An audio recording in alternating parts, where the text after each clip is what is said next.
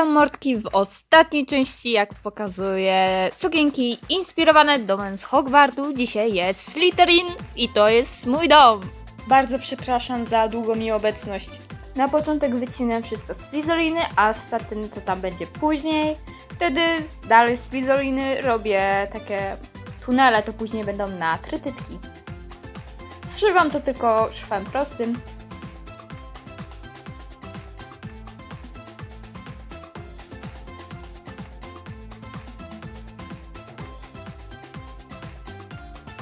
Tunele przypinam do tych tylko przednich części, następnie przyszywam. Wtedy jak mam to zszyte, to te części ze sobą wszystkie zszywam, żeby to była już taka jednolita całość.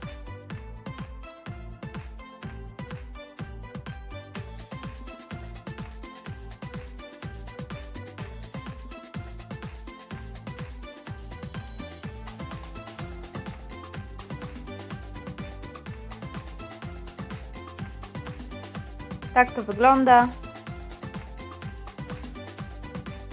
Przypięty gorset do manekina daje na wierzch satynę. Wtedy właśnie tak ją mniej więcej marszczę. Później będę to wycinać.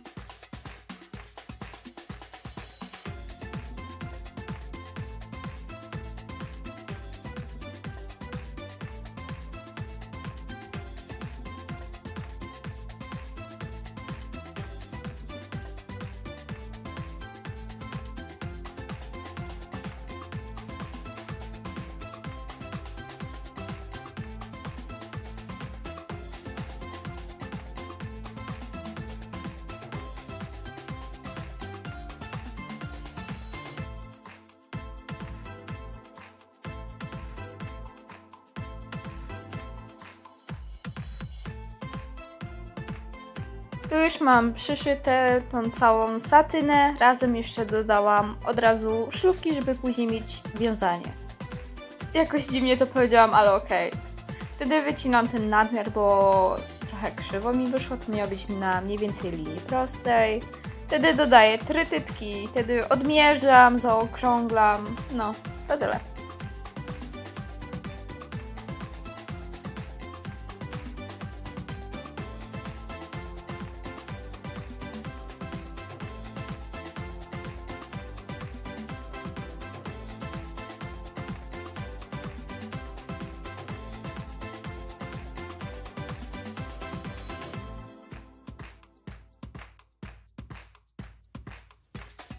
Tak to wygląda, jak już te trytytki są dodane.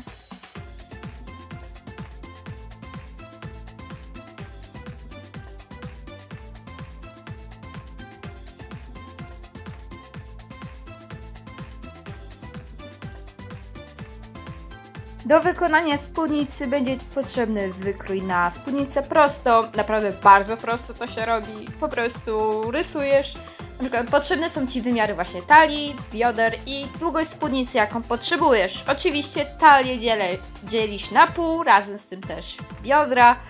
I tak jak mam na rysunku, czyli tą górną część, to jeszcze muszę zrobić takie miejsce na zakładki po 2 cm. Wtedy to 15 e, cm to jest miejsce, w którym, że tak powiem, te biodra są od linii talii do linii bioder. Tak mniej więcej to jest te 15-20 cm. No, a reszta co jest, żeby to cała długość od samej talii do długości końcowej musi być 65. Kurczę, nie wiem nawet jak to wytłumaczyć, jakoś dziwnie mi to idzie. Ogólnie jeżeli chodzi o długość tych e, zakładek, to też jest takie to 15 cm, 20, zależy jak sobie dodasz. Dobra, jak już mamy tą spódnicę podstawową, tył zostaje taki sam jak jest, lecz trzeba trochę zmienić przód. Po lewej stronie zaznaczamy mniej więcej 5 punktów wzdłuż boku, mniej więcej w tej, tej samej odległości. Następnie po prawej stronie odmierzamy wtedy 5 punktów, e, mniej więcej co 2 cm, tak przykładowo mówię, ja tak miałam. Po zaznaczeniu tych 5 punktów dodaję na koniec jeszcze tak mniej więcej 2 cm na zapas. Gdy mamy już ten zapas, można rysować linię. Nie wiem jak to nazwać, tą linię. Nazwę to po prostu krzywą. Czyli po prostu tą ostatnią linię, że no tam później będą się krzyżować te materiały, dlatego krzywa. Jak już to mamy narysowane, to wycinamy wzdłuż tych 5 punktów, ale nie rozcinamy do samego końca. Nie wiem jak to powiedzieć, jakie gdzieś milimetry jeszcze zostaje. Wtedy mnie pomiędzy to dodaję takie 4 cm, wiecie, że, że tak powiem trójkąty dodaję, bo to idzie po prostu po linii prostej, wtedy tak rozszerzam i dodaję te trójkąty mniej więcej na 4 cm. No wiecie, że ta podstawa by była na 4 cm. No i później dodaję te 4 cm, żeby to były zakładki.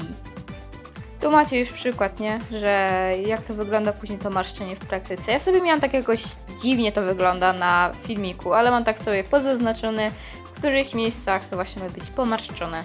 To co mówię to jest istne masło maślane, ale naprawdę nie potrafię tego inaczej wytłumaczyć. Ja to po prostu wiem, ale nie wiem tego wytłumaczyć. Ja te marszczenia się później zszywam. Teraz na tył, na tą podstawową tą, przypinam te marszczenia Teraz jak już ma to zszyte, to ja teraz będę wyciągać te szpilki. Jak widzicie, to jest tak mniej więcej na przemian i część dołu już mam zszyte, no że tą obramówkę zrobioną, ale tak nie do końca. Bo później jak już szyję te boki, to żeby mi tak ładnie zszew ten boczny schować, to właśnie nie do końca miałam to zszyte i na koniec to będzie zszyte. Jejku, jak ja to źle mówię, przepraszam bardzo.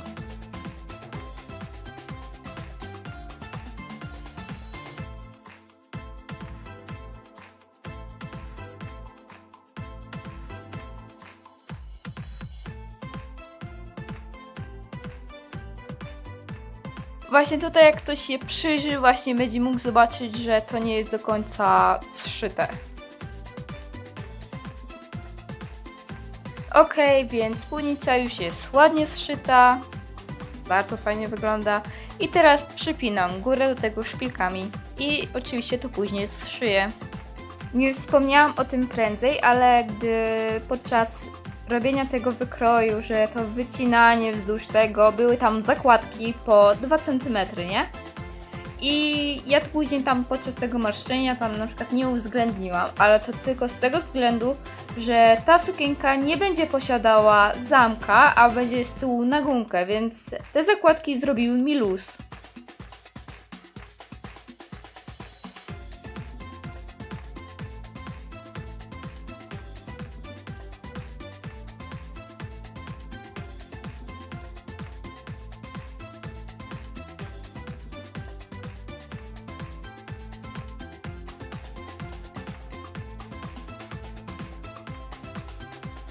Tu właśnie z tego kawałku materiału, jak zszyję i wtedy wywrócę to na drugą stronę i znów zszyję, będzie tunel na gumkę, tak jak tutaj widzicie, nie? Tu właśnie już jest wszyta gumka, jest tak ładnie ukryta. Więc to już jest koniec tej serii, czyli sukienek inspirowanych domem z Hogwartu. Ostatni był Slytherin. I jestem ciekawa, jakie były Wasze faworyty. Moim osobiście był właśnie Slytherin i Gryffindor.